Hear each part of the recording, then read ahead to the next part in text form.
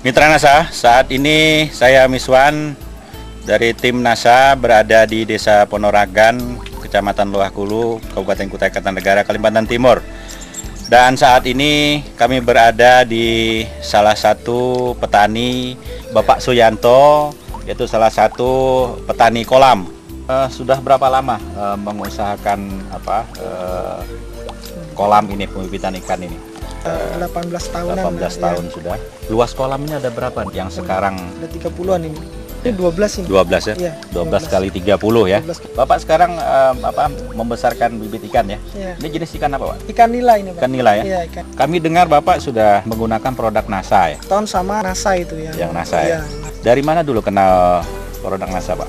Eh, kebetulan itu Pak Haji Erham itu eh, kenal dengan kita lalu kita ditawarkan untuk uji coba Dicoba. Bapak barangkali bisa ceritakan, Pak, cara Bapak melakukan aplikasinya. kemarin kalau untuk yang nila ini kita lakukan eh, lahan kita keringkan itu baru kita siram pakai ton terus setelah itu kita masukkan air di situ kita apa tambahi ton lagi nah kita tambah ton dua baru kali ya? eh, eh, dua kali baru kita masukkan apa ikan Ikan. Begitu air sudah penuh kita masukkan ikan nah ini setelah ini eh, 10 hari setelah itu kita kasih lagi Kasih kemarin tambahan berarti tiga tiga kali kali pemberian, tiga kali aplikasi ya? ya sudah tiga kali pemberian 360 per ikannya habis berapa botol itu, Pak? Eh, ini saya rencanakan saya habiskan satu botol Satu botol ya? iya satu botol Saat ini berarti belum habis ya satu botol? ya? belum Belum habis ya? belum. masih ada sedikit jadi nanti kalau ini sudah umur kurang lebih 20 hari baru saya kasih lagi Iya.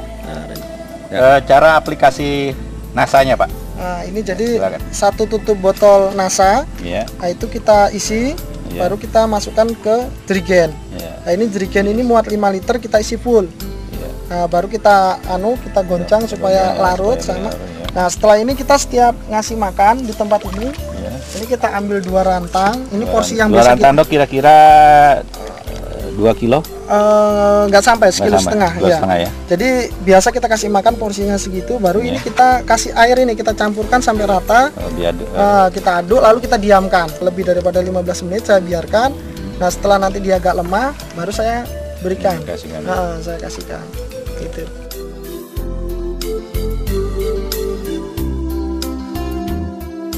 Pengalaman Bapak sebelum memakai ton, kemudian setelah memakai ton, perbedaan yang bisa Bapak amati di mana itu Pak? Eh, kualitas air. Kualitas Nah, air. di ya? kualitas air. Jadi biasa air ini kalau eh, kemarin kita belum pakai ton, kita tampung ikan eh, di kolam yang tidak pakai ton. Nah itu ikan eh, di pagi hari itu dia anu apa eh, mencari oksigennya itu anu apa eh, susah. Jadi banyak yang mati kalau Banyak kita mati, ya? tampung. Eh, begitu kita pakai ton ini kualitas air rupanya eh, sirkulasi oksigennya bagus. Jadi eh, ikan sampai sekarang belum ada yang mati yang kita tampung. Di sini dulu karena ini sudah terlalu lama, ya kan lahannya juga lahan tanah liat ini, jadi warnanya anu merah, merah ya? dia. Heeh. Terus kalau pagi ini eh, menjadikan ikan ini cepet anu apa cepet naik, Hmm, naik mabuk dia, ya? Iya, naik ke permukaan untuk cari oksigen. Iya. Nah ini, tapi ini sekarang ini nggak ada, ini nggak ada.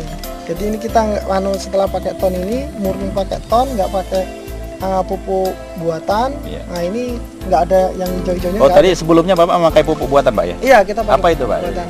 Kita pakai ya seperti biasa kita pakai di sini urea sama TSP. Urea sama TSP. Ya urea Tapi TSP. setelah menggunakan ini tidak lagi ya? Ah, tidak ini lagi. kita nggak pakai nggak pakai pupuk urea sama TSP. Yep. Eh, jadi sekitar 7 kiloan kita anu. 5 kilo ureanya TSP-nya 2 kilo. Dua kilo. Untuk untuk yang satu kolam ya? Iya, satu kolam. Dan Ini berapa lama Pak? Baru bisa dipindah ke kerambang? Satu bulan. Satu bulan. Ya, satu bulan kita pindah ke Kerambang. Kemarin waktu masukkan itu ukuran berapa Pak? Waktu masukkan bibit awal. Ukuran eh, 35 kemarin. 35. Ah, 35, 23 dan 23 juga Nah, kemarin. sekarang setelah dipelihara 10 hari udah ukuran berapa kira-kira? Ini 79 912 ini rata-rata. 9, 9, 12. Sebelum Bapak memakai produk NASA, Ton dan NASA, ya, itu dalam tempo satu bulan. Iya. Satu bulan. Berarti kan lebih besar lagi nanti Pak ya? Iya. Kemungkinan bisa lebih 912 mungkin. Lebih di atas 9, Ah, 12 di ya? atas 912 kelihatannya. Dan ini F3. Nah, ini kalau kita F1 mungkin bisa lebih Bisa lebih, lebih, cepat lebih, lagi. lebih cepat Iya, lagi ya? bisa lebih cepat. lagi. Dulu, waktu, dulu waktu sebelum memakai NASA, Bapak pernah nggak memperlakukan yang F3 ini Pak? Eh, nggak pernah. Biasanya kalau F3 ini ini kita eh, langsung kita sendirikan kita buang, Pak. Oh, F3. di akhir ya? Di akhir. Nafsu makannya, oh ini habis terus Pak ini kalau dikasih nih habis terus ini pokoknya. Ini kalau tengah hari segala ini anu Pak, makan makan terus dia. Kita kasih makan terus Kalau dia. dulu sebelum pakai produk NASA, Eh, biasa kalau kita kasih makan tengah hari itu ikan nggak mau timbul dia. Nggak mau timbul. Karena pertama airnya panas ya kan memang airnya panas terus nggak ngerti yang lain. Yang jelas eh, kurang respect kalau tengah hari. Kalau sekarang Kalau sekarang tengah hari kita kasih mau dia, Pak. Jam-jam, iya. Terus ma- makanan yang kita pakai ini kualitasnya lebih di bawah. Biasanya kita yang pakai itu yang satu sak 10 kilo harganya 90.000 itu. Iya. Nah, ini kita pakai yang apa 30 kilo ya kan? Yang kualitasnya Ah, di, ah, yang di bawah. kualitasnya ya. di bawah. dari kelincahan ikan. Keli- Ikan ini Pak bagus ini. Jadi kita Lebih- lebih iya, lincah ya? Lebih lincah ini. lebih Jadi, aktif dia iya. ya? Lebih lebih aktif terus eh, apa pergerakannya juga ini kita kita lihat kan Iya. eh, bentuk ikannya juga anu bagus gitu. Kenceng gitu bentuk ikan yang kita lihat tadi.